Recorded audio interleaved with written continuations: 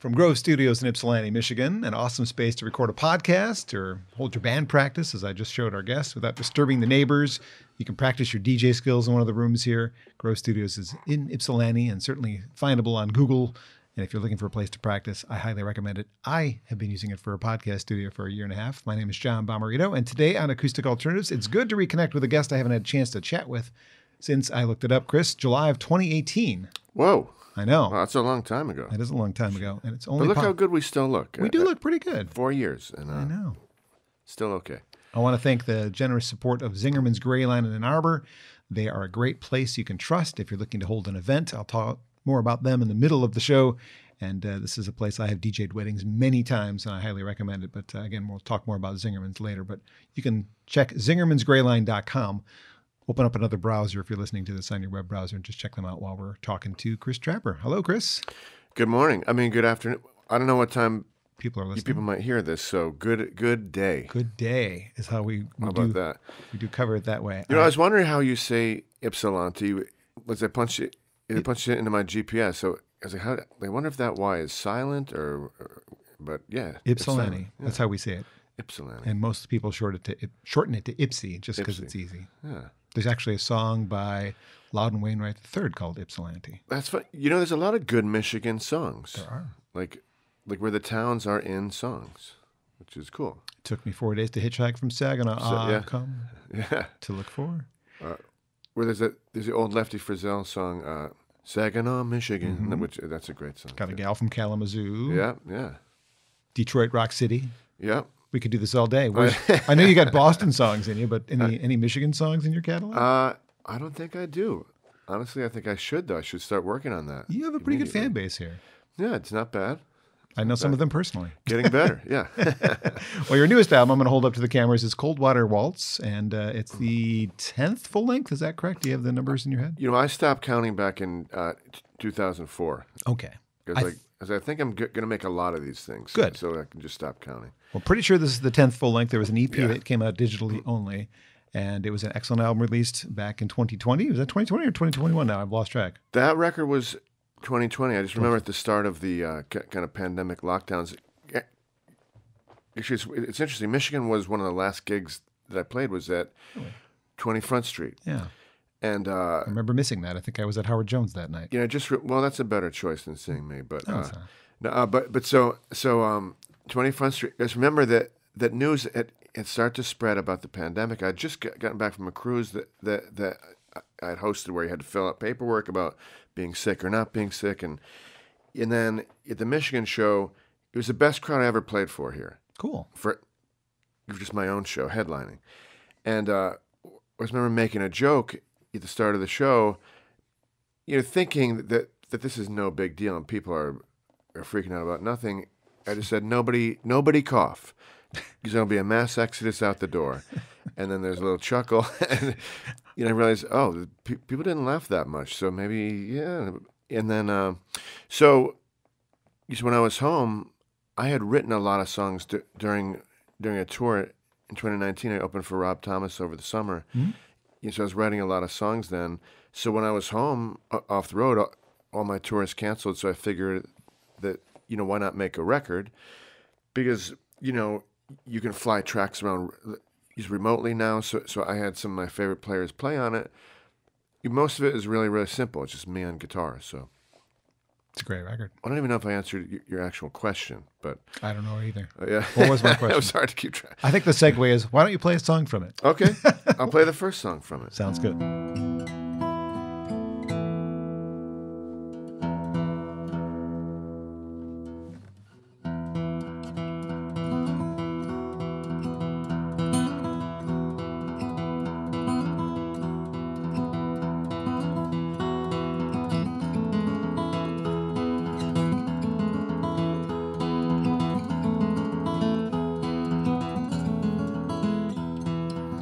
I remember sitting out on the staircase. Though I was just in fourth grade, still I was worrying about my life. I was always outside, finding places to hide. Since the day I realized that I could never break up your fights. And all will be forgiven if we keep our secrets hidden. Into the dark, into the dark we'll go. When I left your town, I always kept my head down. Worked till my hands hurt, till I could barely pay my rent. But I would always call home and ask how are things going. And if you got a laugh out of the funny birthday card I sent. And all will be forgiven if we all just keep on sinning. Into the dark, into the dark we'll go. We'll go into the shadows on a boat without a paddle and hope that it all, hope that it all will float. Only you know all that you are. Secrets burn slow and light up our homes under blue stars.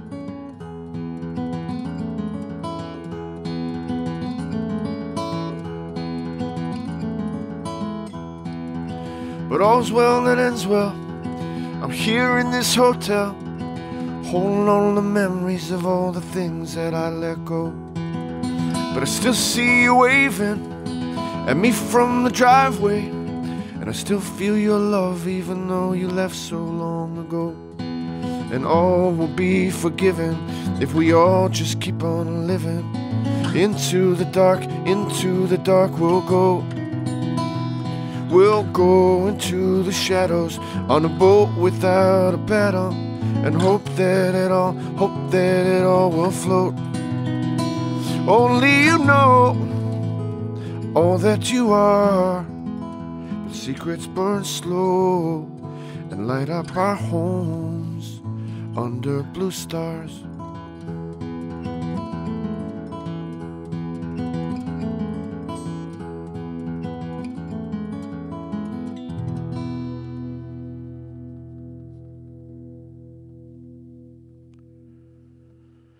Under Blue Star is a track you can find on the newest Chris Trapper album, which is called Cold Water Waltz. And Chris is my guest today on Acoustic Alternatives, brought to you by Zingerman's Greyline. Chris, thank you for playing that. Hey, absolutely. Love hearing your voice sing just about anything, really. A little out of tune, but uh, Is it? But, well, my not, not not my voice. The the guitar has been has been you know been in different temperatures lately, so, so Yeah. each town's a little different. So I'm just are. making excuses. A poor craftsman blames his tools. I'm allowed. I'm allowing it to happen Yeah, thank today. you, It's okay. Well, let's back up way back. You grew up in Buffalo, New York, before migrating to Westwood, Massachusetts, which is Right. near Boston. yeah. Besides cold, what was it like growing up in Buffalo? Because I know that's a similar climate to what we have here. Yeah, so um, you know, I love Buffalo, and I go there. I go there all the time. I still have a lot of family there.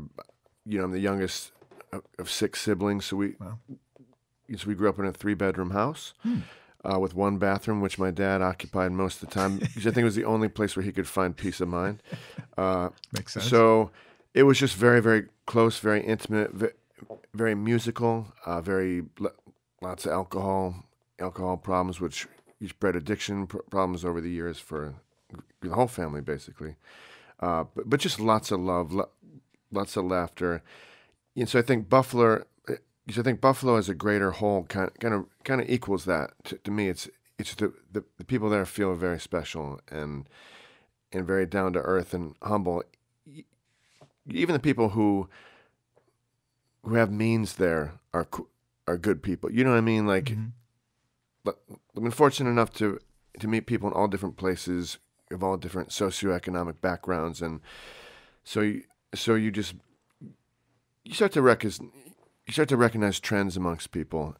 And so I always think that Buffalo are just some of the nicest people around, the most generous, hold the door for you, light your cigarette, uh, buy you a drink, that that kind of you know those kind of people. So, and so my family was musical. Uh, at the same time, one of my brothers was super into Jimi Hendrix and playing guitar. Uh, my my closest in age brother to, to me, he was listening to Barbra Streisand in show tunes. So, he's my brother who was who was into Hendrix ta- taught me a couple chords on guitar. You know, I was listening to, to show tunes like constantly because my brother had, had the lead in, in the high school musical, and he suddenly became really, really cool in school and very popular. So I had those crossroads of was listening to show tunes and Jimi Hendrix. So it was a weird mix of things. But uh, I get it. then started writing songs w- when I was 13 years old. My parents were, were super encouraging. They they would have they would have said if I if I had said I wanted to be a lawyer, that they would have said why. But when I said I want to I want to be a singer songwriter, they, they were like, "You go get him. That's a great idea." Nice. Because my dad, I think, I think raising six kids, I think he, he had such a pressure just to bring home a paycheck that he never really got to live his, his dreams or his joy. So he wanted all of his kids to to work a job that that they that they enjoyed. And so he would always say, "Do you do something you love to do. You can figure out the you can figure out the money part later. That that will come." And I, I, I've been super fortunate to to play music professionally now for twenty two years or twenty three years, which which I just think if you're if you're lucky enough to to to have the word play in your job title, that, that's pretty freaking awesome. That's a good So, point. Yeah. I'm going to do something that I don't normally do during the middle. I'm going to try and move this so I can actually see your face. There we go. Oh, I can see your face now. Yeah. Oh, Hey, something I realized as I was introducing the idea that you lived in Buffalo was that we get along for a couple of reasons. We're the same age, right. but we both grew up in border towns like Canada, just across the border. Totally. Yeah. You absorbed a lot of Canadian radio, probably just like I did. totally. like, yeah.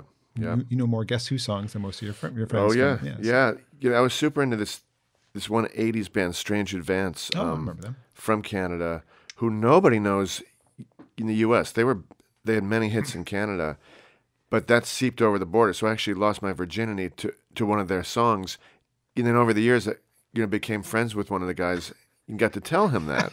That's a weird thing to tell but somebody. very very weird. But but he was honored. He, he I bet. said Oh, that- thank you. No one's ever said that before. yeah. There's a Buffalo actually plays an important part in one of my favorite bands, and there's a tie in there as well. When uh, for a while I ran a Canadian import company selling music from Canada stores across the USA, and stores in Buffalo kept ordering this band's CDs. I'm like, why do I not know Great Big Sea? Uh, there you go. Yeah. like- One day I just cracked one open. I'm like, oh my god, I've been missing out on this. I opened everything else I had. And so Yeah. we'll get to that later. Yeah, because yeah, there's a tie in there. Yeah. But yeah, kind of just thought about that.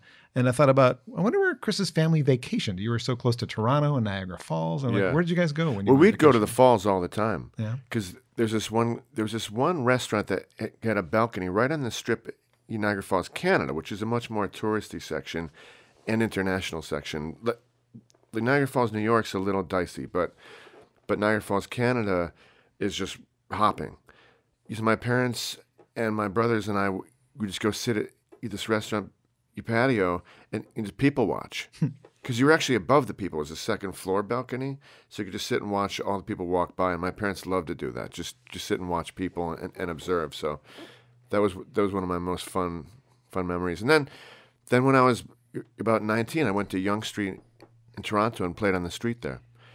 Uh, full of record stores, Sam the Record Man. record stores yeah. and lo- lots of people, and I you know made money singing on the street. What there, there wasn't something that I did often, but that was like I don't know why I picked Yonge Street. Just just was something in my mind to do. So most popular street there, isn't it?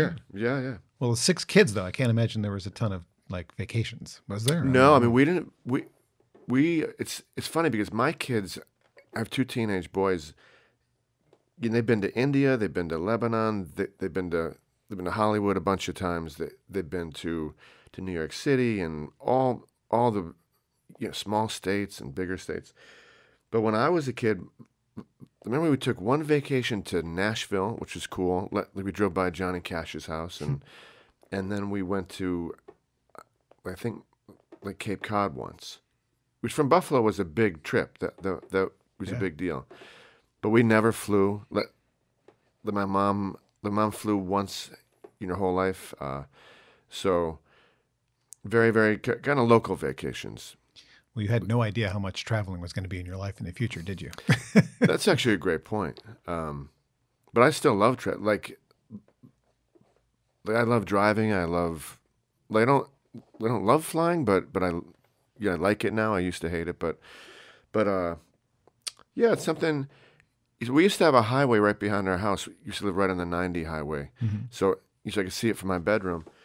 You know, I used to just watch the trucks all the time driving by, and late at night, you know, when you know I couldn't sleep, get to stare at the trucks, you know always wonder what truck drivers' lives were like, and then over the years I realized that's basically half my job, is being a truck driver. Except I'm delivering songs rather than apples. So, and thank you for doing that. Uh, I was thinking about uh, another part of your childhood that maybe you're describing in your song "Wish I Was Cool." It sounds like you were bullied. Is that true?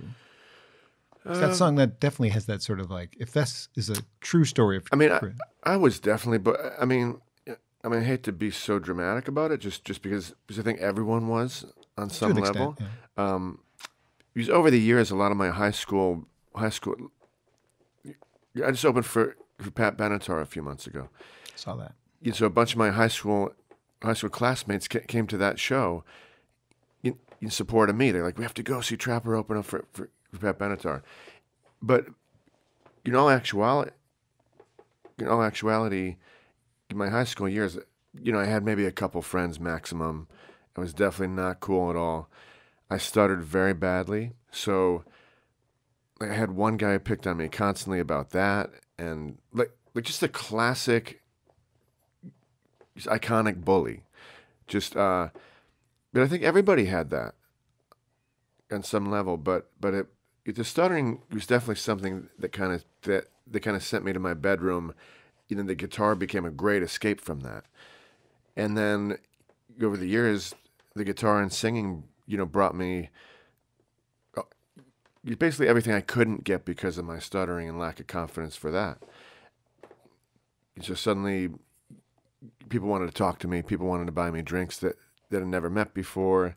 You know, girls, you found me handsome suddenly. So so so all the good things kind of kind of came from music. I was going to ask actually what came first, girls or guitars Uh, oh, definitely guitars. before girls? yeah. Well, I meant like, were you inspired because, oh, if I play the guitar, girls will like me? No, you know what? It's. I mean, I think that that's definitely part of it for everybody. But but for me, it became more of a way to say things to that that I couldn't say in conversation, and and it became there's a real escape.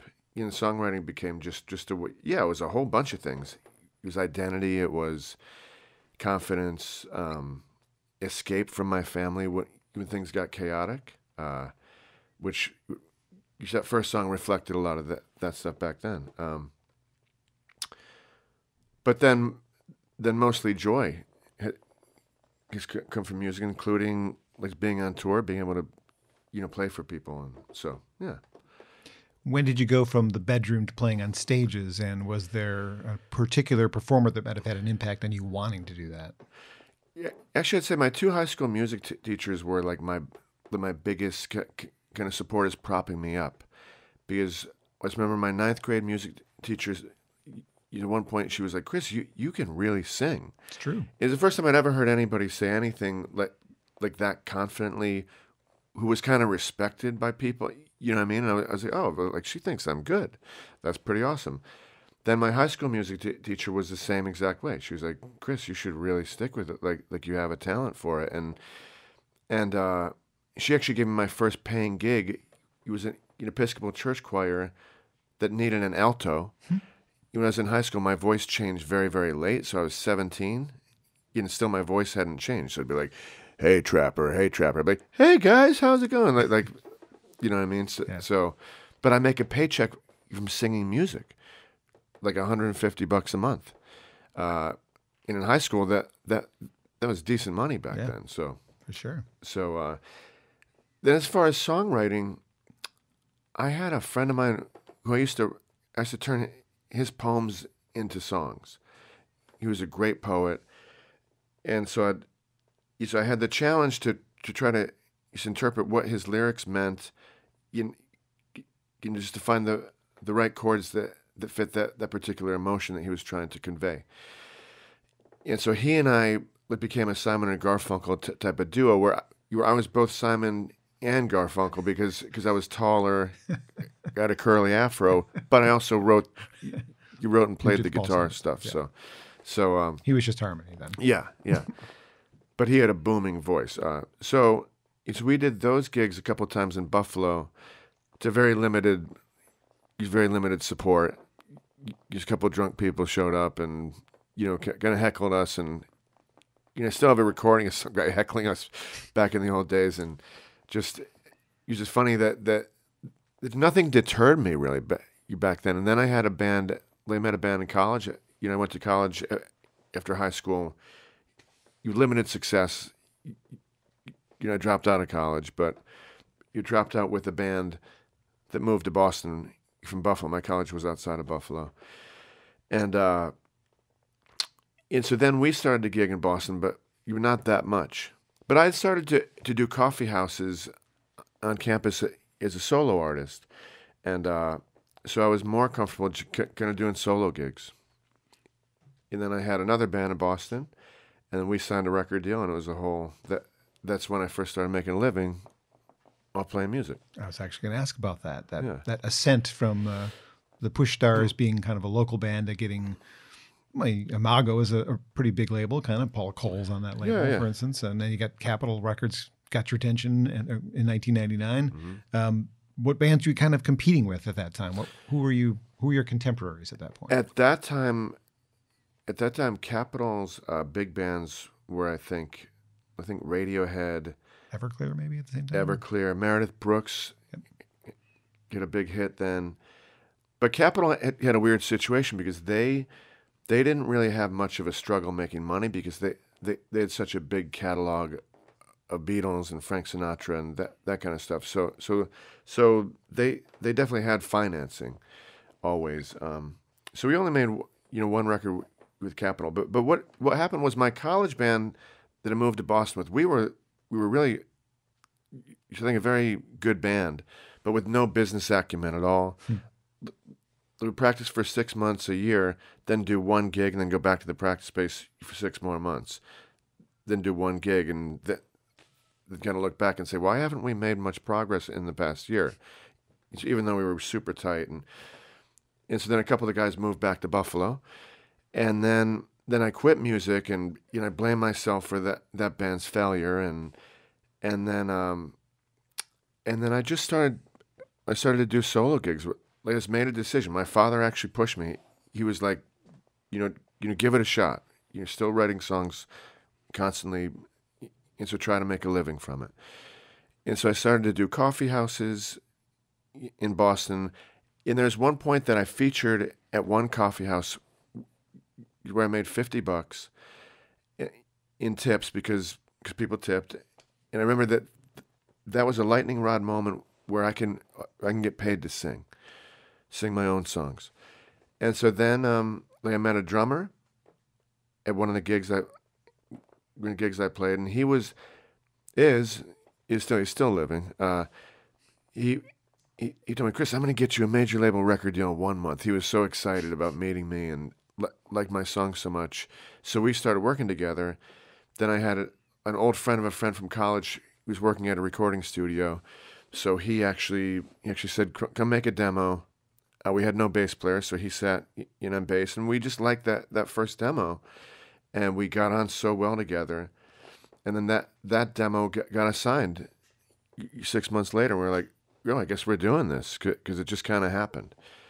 And then we got a got a big music lawyer who, who's also Nirvana's music lawyer, and then we had a had a really really big showcase with like 13 labels showed up. It was all those classic things, you know, limos at, at the airport when we were all broke and like we had no money at all. But but you were being picked up in a limo in Los Angeles. He's driving around Hollywood, so that doesn't happen anymore. uh, oh, I know it doesn't. No, I know. Um, so then we had a nice run for for a decade opening for cool people, and and then we headlining and all kinds of stuff. Yeah. So it's a good thing. Yeah. Well, about a decade ago, in an interview that we did together, you said something along the lines of, Uh-oh. "I don't have any. I don't have any other skills." So, if you were forced into retirement, I mean, the pandemic could have easily changed yeah. your path. Oh, big time. What yeah. would it? What would you like? What else could you do? That's such a. You have to have some other skills, Chris. That was a joke. I really don't. Uh, that's that's such a great question because because I, I uh, you know I was confronted with you thinking about that. Of course, because like hey, there's no gigs, and fortunately, you know I did live streams and then backyard shows and found ways to augment it. You know, I was lucky that I could be a one man band because if you're a bass player, you can't do anything. It's it's going to do. You're not going to do a all bass playing live stream. Not very often. You might not get a big audience, uh, but Were the live streams lucrative? Did you make any money on those? well, I wouldn't say that publicly. Um, Oh, well, this is but- publicly. yeah. Uh,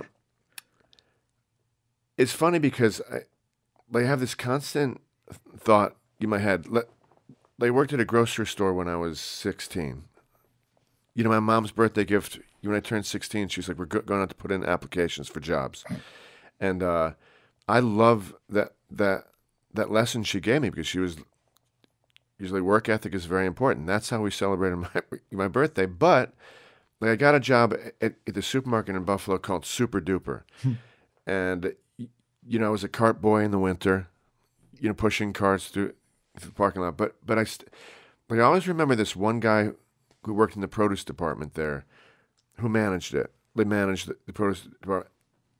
So I think he was one of these guys who was like in his late thirties, maybe high every single day. Uh, uh, uh, he's on the job, and but you always looked at him, and he just seemed so happy because his job had limited responsibility. It's like, is the fruit fresh? Yes, I'll put it out there. Um, but he just always seemed happy to me, so I always picture him. So I'm like, maybe a grocery store job would be something, you know, I'd like to do. And then I worked in the hotel industry later on, and I kept getting promoted, get that job. So maybe I would have done something. He's managing a nice property somewhere because, like, he's a manager of. He's a very nice hotel in Boston, the Copley Plaza. He kept recommending me for for better jobs in the, in the hotel. And Then at one point it became a, a, a debate because I had hair, because I hair, you had hair like you had, uh, very Oh, very long The hair picture I showed you, yeah. long, beautiful hair. and he said, I'm going to give you a better job if you cut your hair. And you know, at that point, it was decision time.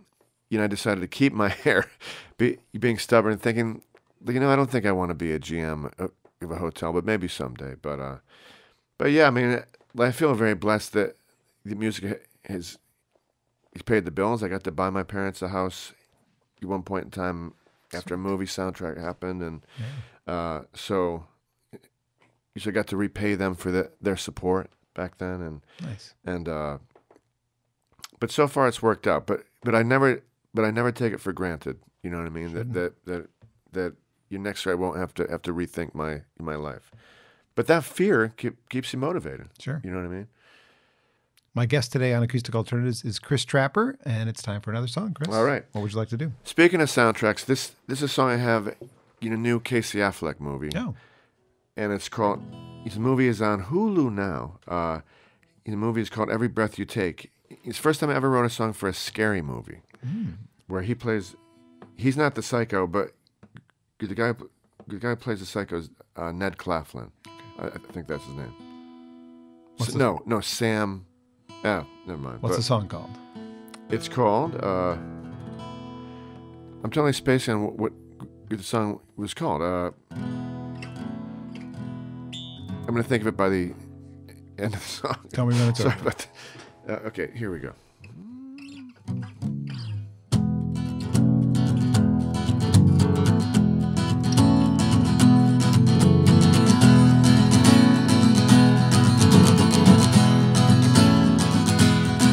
Oh, tonight I think I'm gonna try to slip out the back door.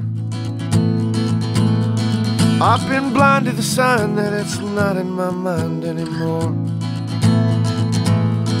Gonna walk through the weeds and then fall to my knees by the shore.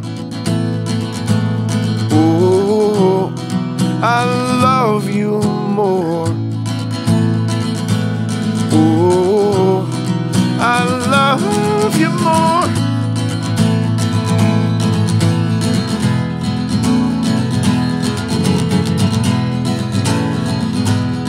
Oh, the night that we met, I was so soaking wet from the sea. And you ran through the sand, wrapped your cold hands all over me. It was June June 'neath the moon, it was over too soon, can't you see? Oh, I love you more. Oh, I love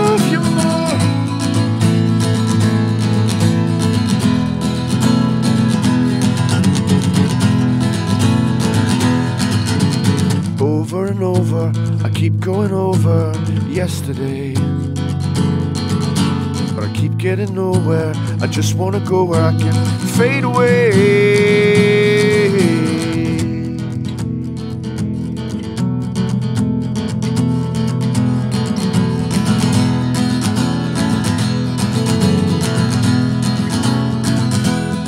Oh, the sun had punched out, so the lights had come out on the town. And the wind fell like glass, so I drank to my past until I drowned. Cause the one thing I'm missing, the thing that I wish would let go. Oh, I love you so. Oh, I love you so.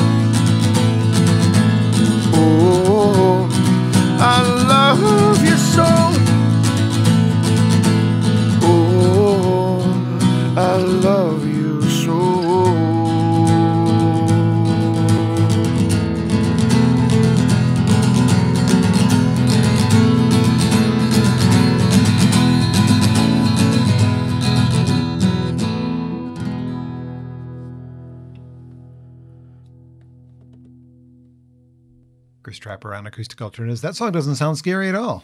No, Sounds like a love song. no, it's a bar scene where it plays. So I love you it's supposed so. to be a bit of a party song, but with a little creepy element to it. So I figured, like, when I when I wrote it, I was thinking about kind of obsessive love that that you just can't let go. So that's that's kind of where that came from. Been there, done that. Yeah, that's Do you remember the name of the song now? You know what? I, I I feel ridiculous, but it's it's the title did not did not jump out at me. It's uh, every breath you take. The song. Uh, I love you so. oh Seems God. obvious. That's okay.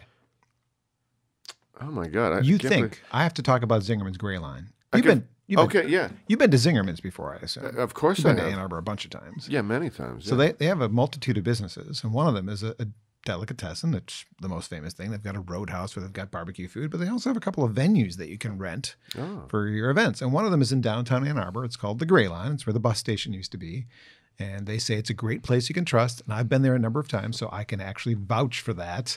Uh, it's an ideal place for social events like casual or upscale weddings, rehearsal dinners, birthday parties, bar and bar, bar mitzvahs, retirement parties, tailgate parties. All those things can happen there right in downtown Ann Arbor. It's a great place for corporate meetings, training sessions, staff parties. They've got a sound system that uh, DJs like me can tap into or use your own sound system, overhead system that works really well. Of course, because it's associated with Zingerman's, guess what kind of food it has? Zingerman's, which is pretty awesome in itself. The team from Zingerman's Deli, uh, you get the most flavorful food and the best possible service. Uh, Tara over there has always been very kind, uh, leading her team there. She's great to me. A full service event planner uh, available as well. Zingerman'sGreyline.com is the website if you want to look them up. You can also call them at 734 230 2300. Single serving appetizers, plated entrees, everything in between. Zingerman's Catering and Events. Uh, they are the experts that can serve you at Zingerman's Greyline. So we want to thank them because without them, this isn't happening today, Chris. And I'm going to be honest, that's Oh. true. Well, thank thank them so much. Yeah, because uh, I I want to thank them by buying lunch at Zingerman's today. come on over and do that. All right. Did you remember the name of the song? No. Okay, I, we'll move on. I can look right on my right on my phone in Spotify. Because the only, you know why it's bec- because it's the only song of mine that there's not got an actual record. It's first time I, it's first time I released like, you know just a single. That's right. It's available on the website as a single. I forgot. So about that's why it's That's why it's familiar. that's why it didn't it didn't lock in with me because it wasn't part of a collection. But Will it, will it be on a collection? you know, the title is not that great too. So because because if it was, it, it'd stick out to me. But uh, uh, yeah, I think it'll be on my next record, whatever it is. But it's out now Okay. with the movie, kind of aligned with with that. So. Yes. Well, you've been a road warrior, certainly, 20 years at least since hmm. your first release as a solo artist. Along the way, you've made your fair share of friends, myself included. I'm Yeah. appreciative of that. Yeah. Some of them have achieved great things, unlike me. Colin Hay, Rob Thomas, Yeah. the boys in Great Big Sea, just to rattle off a few of them. I know from spending a lot of time with you how nice of a guy you can be, so it's easy to see why these people are You said to you. can can be, which is nice. That, there's a nice word choice. Very sp- I don't spend that much time with you. I'm sure you're a jerk that's sometimes true. too. That's true. Yeah. I am. I know I don't mean to be, but sometimes I can be. right. But they're drawn to you personally. I think the same reason I am. It's just because you're you. That in itself is a compliment. However, I think the bigger compliment for you as a songwriter is when somebody covers one of your songs. Yeah. Colin Hay is covering one of your songs for Yes. his next record. Yes. Great Big Sea had a couple of pretty big hit singles with songs that you wrote or co-wrote with them. Mm-hmm. Rob Thomas used one of his on his last album. Yeah. Which, I mean, as as a songwriter, which of these is the ultimate for you? Is it all of them? Is it any of them? Is Well, well, with Rob, um, Rob and I wrote some songs t- together. So, so we co-wrote a song for his Christmas record that it just just came out. Um, I just love them all as people, honestly. So, so, so that's that's how I view them, and don't think necessarily about the like, like, like for instance, Colin singing my song is a huge like, like, like that's mind blowing to, to. You had you told kind of younger me that that someday somebody of just his talent level in acumen will sing my song. I'd have been like, you know, GTFO is the kid's text. yes. Uh, Well, you and I are the same age, so we know how big Men at Work were in '82 and '83. yeah. I, I, one of my bigger thrills in, in my radio career is getting him to say, "Hey, it's Colin Hay. You're listening to the Acoustic Brunch on Ann Arbor's 107.1. Yeah, Don't be yeah. a bad boy, Johnny. Don't you mess up or play the fool." I got him to say that. That's pretty freaking And I was like. Yeah. I just had Colin Hay say something I put on a gazillion Yeah, mixtapes. You know, yeah. Be Good Johnny was on a lot of mixtapes for Yeah, girls. yeah, of course, yeah. Has my name in it. Uh, yeah, so him, he also wrote one of my favorite songs of all time. Uh, You're just waiting for my real life to begin. Oh yeah, a Um, great song. You see, I can remember his name of, of his song, but not my own. Uh, so that that's a huge thrill. Great Big Sea, when when that stuff you happened, we were writing by the seat of our pants and, and touring constantly. So that, that that stuff happened. Like it almost felt like, it didn't happen because we were so busy at, at that time. But you actually went to Newfoundland. You wrote songs with them in person. That was just just fun personally, and the, you know, they're great guys. And it was a lot of drinking involved, so I don't necessarily remember that that, that we had written or, or accomplished that much. And then you, one of those songs came out of that very successful. Like it became a big hit in Canada, like number one in Canada for a while. Um, and then uh,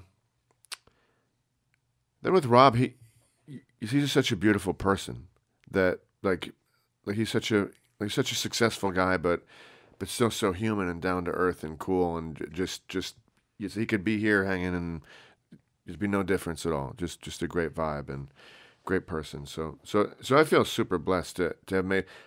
I'm not one of those writers who goes to Nashville. It, like like that's just never appealed to me because somebody I don't love is not. like, somebody has a hit with one of my songs that I don't necessarily necessarily know or love them. Like it's it's it's great, but that's not that's not what motivates me. It's more fun to hear somebody who I love. He's a person who who who connects to one of my songs. That's that's a huge thrill for me. So Is there anybody you would like to collaborate with, or that you wish would cover one of your songs? Because you just love to hear it. mm, Never really gave that any thought. well, the, there's an artist from Canada, uh, Chloe Albert, who she was up, up for a Juno a few years ago, and so she actually did a cover. One of my songs, just just kind of off the cuff, It's on video form, just just Mhm. it's a YouTube video. Yeah.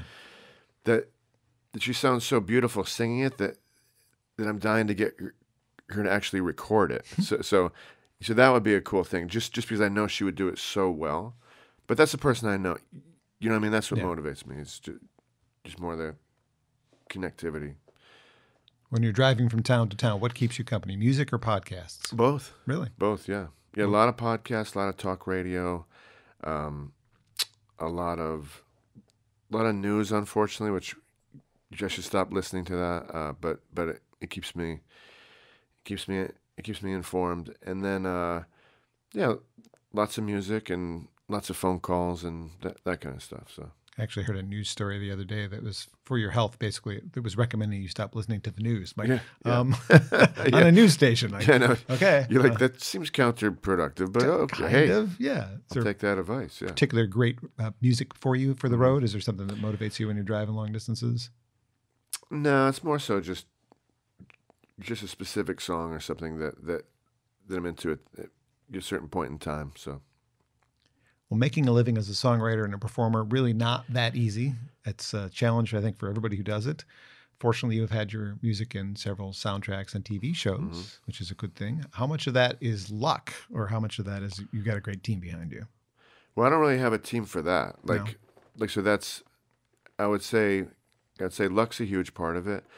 I think what I think what happens is if you're nice to work with, or good to work with, or a good person, that then people remember. Like, there's a lot of stuff that I've gotten. There's a trail of people who, who this person led to this person, who led to this person. So just just, just being recommended, but Yeah. like by people. Like you ask this songwriter to to to to, to try to write something like for instance august rush i wrote a song for that movie eh, and the pr- producer of that he sent me in a couple other things that he did the we did the casey affleck movie Okay. so You're already on his radar then. yeah exactly yeah. So you know tv soundtracks and, and stuff that's yeah I mean, I mean i guess it is a lot of luck too so so yeah. You know i always tell because people ask me that like a lot of young artists ask me like how do you get how do you get licensing stuff for your your film stuff?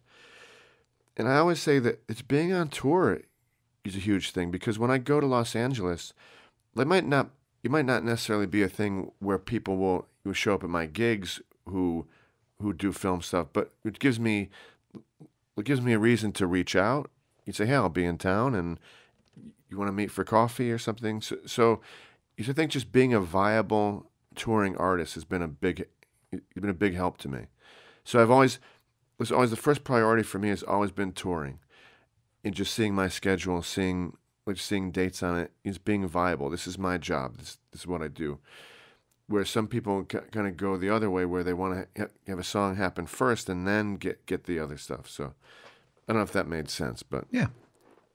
Well, some of the soundtracks that your mu- music has been included in include The Devil Wears Prada, Some Kind of Beautiful, Something About Mary, and August Rush. And mm-hmm. just yesterday, I was kind of Googling around because I know in the movie it's not you singing it, it's Jonathan Rhys Meyers. Yeah. And somebody named Paul Ponce put up a video of scenes, or might have been actually the part of the movie, I don't know, it looked kind of grainy, where Jonathan is singing your song this time.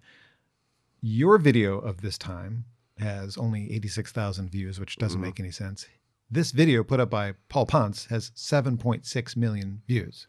right What the actual do do you get monetized from that? I hope. I mean, this Paul Ponce is not like putting it up from the movie soundtrack. He's putting it up just because he's a guy. right yeah um, yeah there is something that that comes from that uh, YouTube makes sure that the songwriter. Yeah, I mean, I think yeah, I mean, I think YouTube has been ki- kind of, kind of they've been made to, to start to pay out to songwriters because the, you know, it's not their content, Right. But but uh, um, but yeah, I mean, like, like I try not to pay too, too much attention to the business end of of things, just just because sometimes that that can become too too priority, too much of a pri- priority. So, bogs down your brain a little bit too much. yeah, so I work. try to Yeah. separate ki- kind of commerce and you know art as much as possible, as long as I'm doing okay. You know what I mean? There's definitely times when I start to dig through my stuff and start to look at my contracts and start to look at that and Make sure you're not getting screwed. hire somebody to look. Yeah, yeah, yeah. Well, that soundtrack got you to the Grammys. I remember you telling me the story of getting to sit way in the upper Yes, the yeah. balcony. You know, I saw McCartney like a like a, a little ant, but just to be in the room with him, Yeah. was, was cool. That was pretty cool. But yeah, I mean, like like the August Rush soundtrack. There's a reason why that has so many views is because the movie was so popular. Yeah. Not not not in theaters, but it had a post life that that was really really great. So you know, so it's a lot of people's favorite movies. It's because of that that that song is done very well and people know it. Something that came out the same year your first debut album came out, solo album, I should Mm-hmm. say, was Shazam. And have you ever thought about the impact that that might have had on your career because you're getting placed in TV shows and movies and people go, what the hell is that? And then they hold up their phone and go, oh, I never heard Yeah. of this guy. And they follow you. Does that, do you find that people come up to you in shows and say, I found your music because?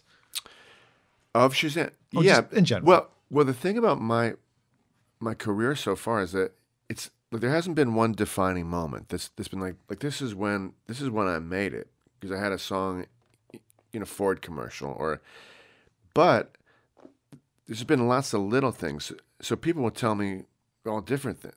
like like they heard me in a grocery store. Home Depot. They saw me open for Colin Hay or Martin Sexton or whoever, or um, or just or a radio station, or just just just various things. And so it's always interesting to, to hear what's working. You sometimes it's been a YouTube video that that somebody sent them, or uh, like for instance, there's a K-pop star who sings who sings my song from August Rush. Oh. So you know, one day I had a bunch of fans show up from South Korea, Wow. like young teeny boppers. So so just just very random things that that happen. It's really fun to to just just discover how people found out about Yeah. about a certain song I wrote in my bedroom at one point in time that people here in South Korea. You know what I mean? Like that's that's really amazing. It's, it's it's an interesting process to just see see how far a song can travel, and your thoughts or feelings, or ho- hopefully both in a song. But You've also acted in a couple of movies. You want to tell me about that a little bit? yes, I'm actually g- going to be in another movie. Really? Uh, yeah. So so to to be totally honest with you, I've always um. Basically, I know, like, I know I'm bad at acting. I I know it. Like like it's just one of those things that, that for some reason it drives me crazy enough that I want to get good at it. So so I keep trying to to Better yourself. to work at it. Yeah. So I was in a movie. Uh, it was a movie that's is right now on the festival circuit called A Winter's Love, where I play an arrogant, an arrogant ex Grammy winning music teacher, and uh, he said that's the first like it's the first time I actually had maybe thirty lines in it. You know, you know, I really kind of YouTube videoed acting lessons and stuff, and tried to get better at it. And so I think I actually got a little better at it. And so my goal is with each thing to, to, to get a little better. But the nice thing about being a singer songwriter is that no matter what you do creatively, it can all pour back into you know, showing up in some town and you know, just a different a different person knowing to me f- from some different way. Mm-hmm. So they could have seen me in a movie or heard a song in a commercial or that kind of thing. So I didn't realize until I was listening to an audiobook of one of his written books that Alan Doyle was in the Robin Hood movie. Oh yeah, he has a big part. in I know. I just watched it because I'm like, I've never seen this. I should watch it. So maybe one day that'll be your. You. Yeah. you get to hook up with Kevin Costner, do a movie. yeah, yeah. That- I mean, I definitely want to get better at it. Yeah. Like before I like, the- the- I'm going to be in another movie now that's a little better. It has a couple stars in it, but but I don't want to jinx it. Uh, but um, Tell me about it later. yeah, yeah, yeah. can't off, talk- off the air. yeah, yeah, How about another song yeah. I'm going to play a song. Uh, on a different guitar, my other guitar, on the bedazzled guitar? which I could have changed, but as we were talking, but uh, It's I was okay. engrossed in in in our chat. Thank you. Thank you for paying attention to what I'm saying. Yeah. It doesn't happen everywhere I go. Believe it or Likewise, not. Likewise. All right. I did break a nail last night. So finger Oh. picking's a little bit more difficult, but Why tonight? I know. Luckily, it was the last song, so so Oh. yeah.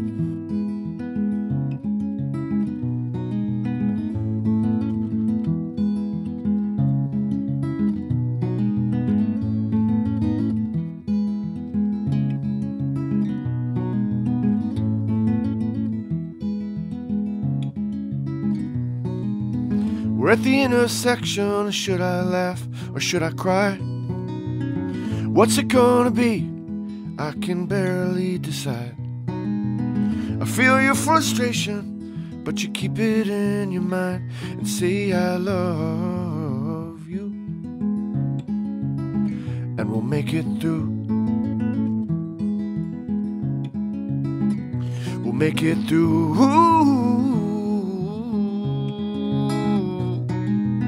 We're on a roller coaster that we never meant to ride. Started off so slow, didn't know it went so high. You slip me smile, but I can see you're terrified. I say I love you, and we'll make it through. We'll make it through.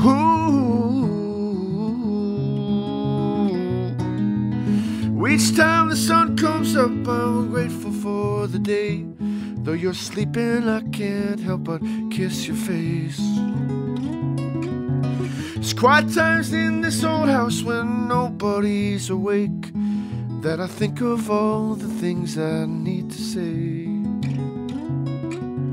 Remembering the first time we lost somebody that we knew. The sky was falling and the birds stopped chirping too.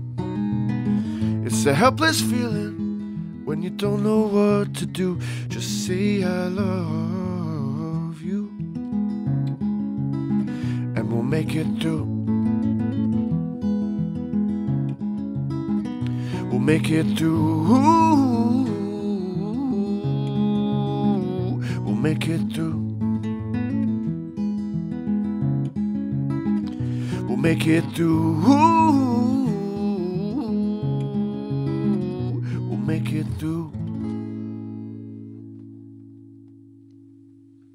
One of my favorite tracks on the as of yet unautographed copy of Cold Water Waltz I'm holding in my hands. Let's make it through from Chris Trapper on Acoustic Alternatives. Love that tune there, Chris. Oh, thank you. You say I love you to your wife. She's got a book coming out, doesn't she? Or did she already It's put it out. It's already out. Tell me It's about out that. now, yeah. Tell Called about- Rest and Return. Okay. He's doing very well. She she's actually much more famous than I am. What? Yeah, when we go out in Boston, literally, literally she get, gets recognized everywhere. I'll get recognized maybe once in a while. Like we're at one of my shows, somebody recognizes me. Oh, that's good. Yeah, they bought a yeah, ticket. Yeah, yeah. exactly. But yeah, it's a beautiful book. It's daily meditations. Uh, at the start of the pandemic, you know, we were both home and and so we were walking in the woods all the time, and she was just t- taking pictures of different different things in nature, and she t- tied it into a really positive vision for, for every day, taking a moment to just be grateful, and and it's it, it's a beautiful book. So I, you said I played with her at a couple book readings, and Oh. so Book is again called what? it's called Rest and Return. So just restandreturn.com. That that that's her book. So And your wife's name is? Hanya Corey Trapper. Okay, there we go. That, people can actually find it now. Yeah. yeah, yeah, yeah. Oh, oh, yeah, Maybe. right. Yeah.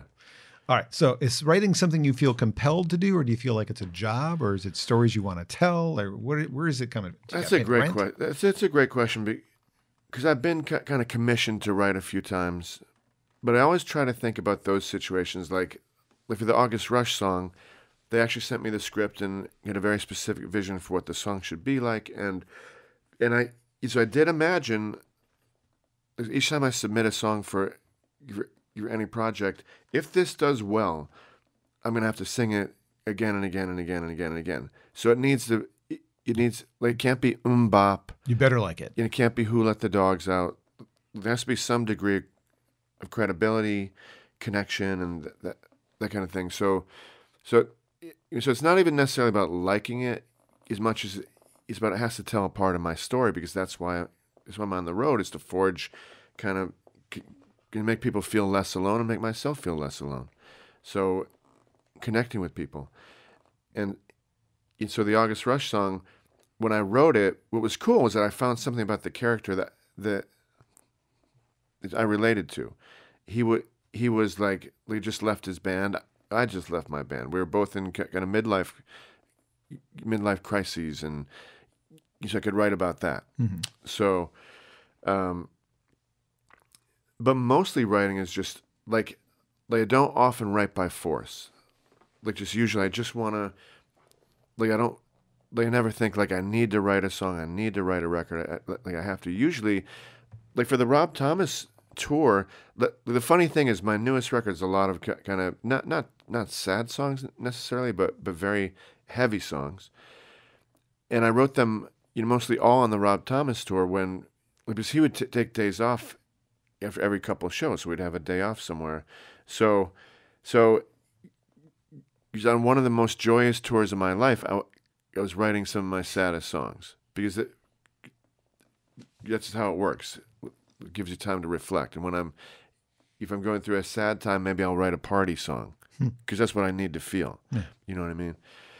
But but um, mostly writing for me has always been it's a very similar process. It's it's just it, it's an outlet. It's like my it's like my diary, where I can I can listen back to songs from from the first Push Stars record in 1996 and you know know exactly where I was when I wrote the song in, in my life, what I was thinking about, what, what I was worried about, what I was connecting to.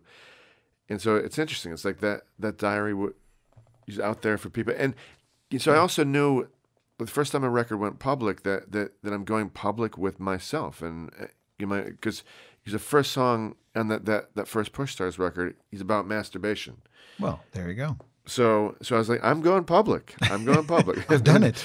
yeah, yeah. I didn't go blind, Yeah. like they said I would. ex- exactly. Well, I mean, a little blurry, but uh, All right then. yeah, do you prefer being in the studio creating music, or do you like being on stage more? both, Both are both, great. Both equal. The, key. studio's like the lab, and the stage is like the like the party. You know, that's um, yeah. I don't know. That that's it'd be a tough choice.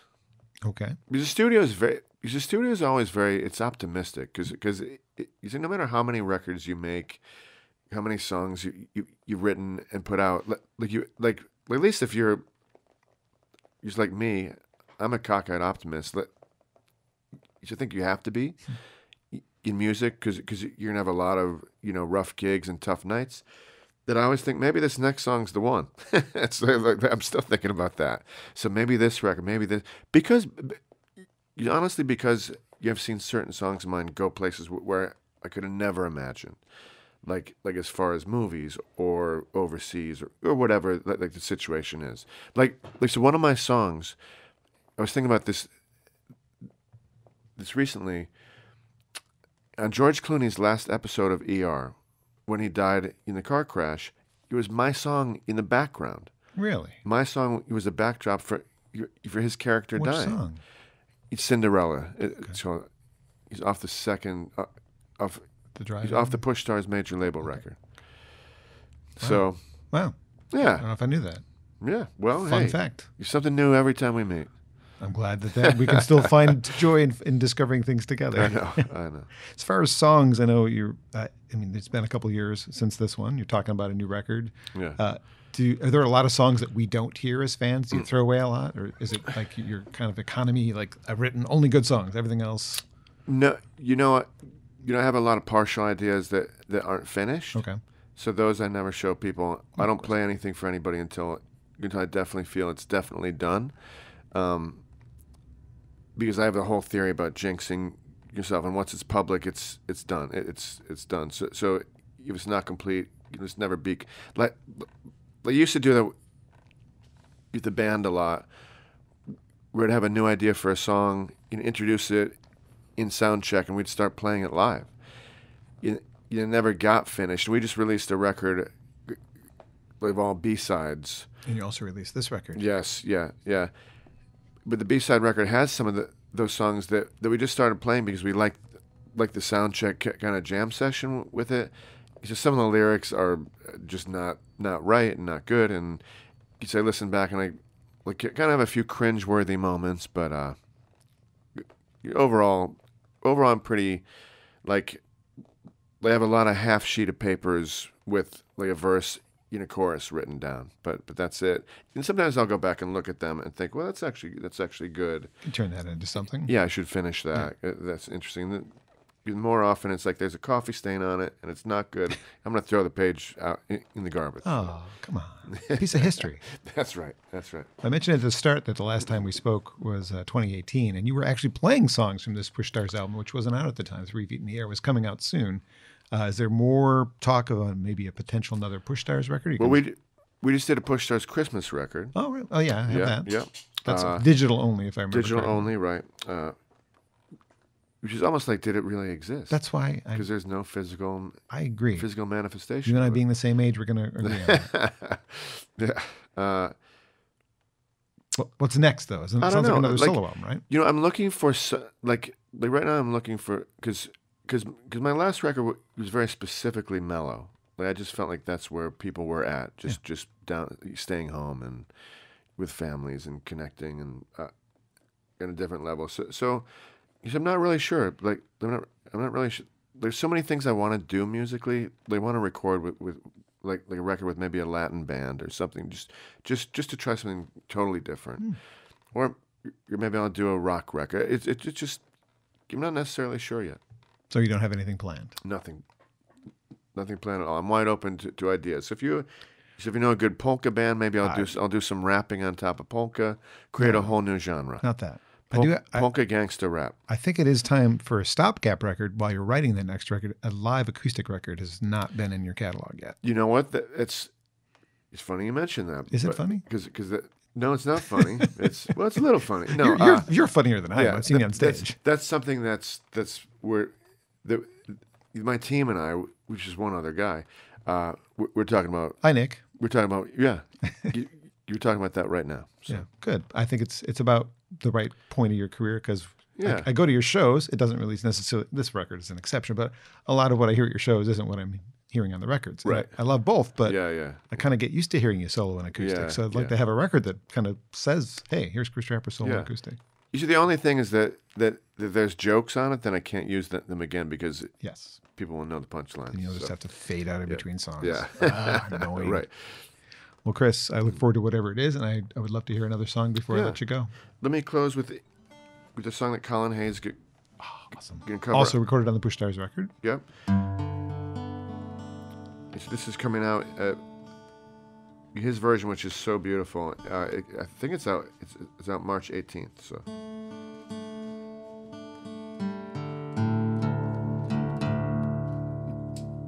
I'm only singing this because I'm vocally warmed up now, so I can. I think. I hope.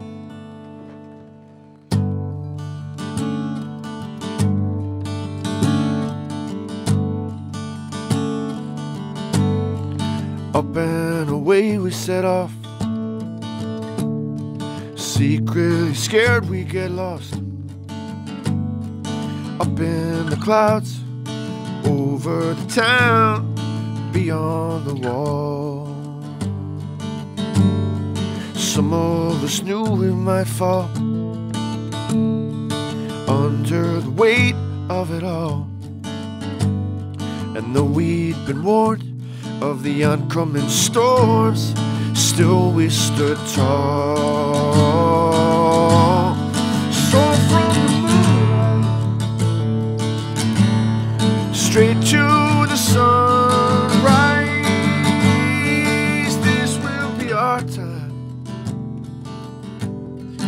Free fall and nosedive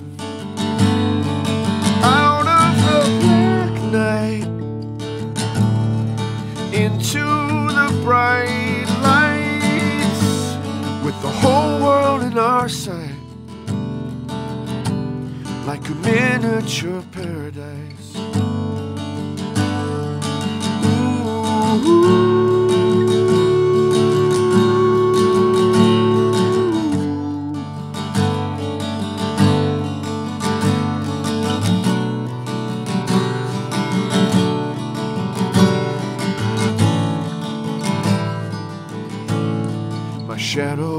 Cast on the ground, but I'm flying too fast to look down at the rooftops and trees and my family waving at me.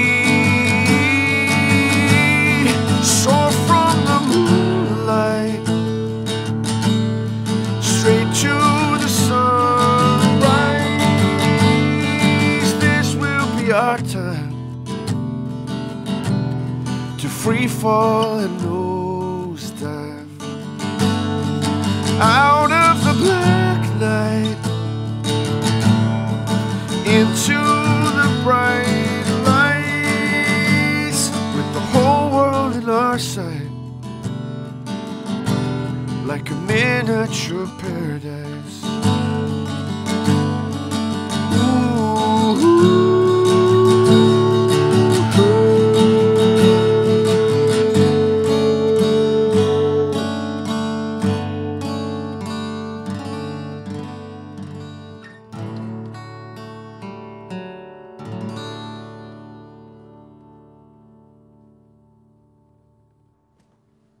Chris Trapper's been my guest today on Acoustic Alternatives. That's a song called Into the Bright Lights, available in many forms. Push, Push Star's latest album, Yep. digital EP you released, as well as My record, Symphonies of Dirt and Dust. I'm go. just going to release that on every record. I ever put out from now on until people really grasp the song. I, I'm going to keep trying. And then once Colin Hay covers it, it's going to be a hit. Yes, yes. Awesome. Yeah. Thank you so much for being here, Thanks Chris. for having me. This, this was great. A, a great format.